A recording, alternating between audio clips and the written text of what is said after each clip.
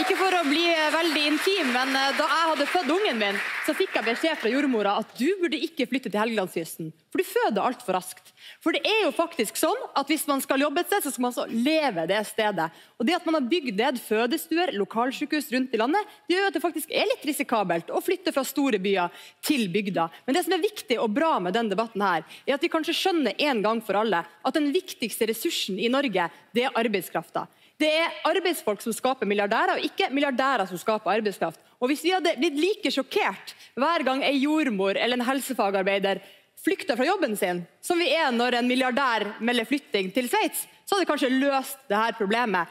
Folk vet sitt eget beste. Man trenger bedre lønn, man trenger bedre pensjon. Og man skjønner jo også at de jobbene som er fysisk tunge, de gjør at de kan ikke stå til du er 72 år, som dere har sagt at ungdommen utdannes må gjøre. Men skal vi forby alle da å stå til de er 72 år?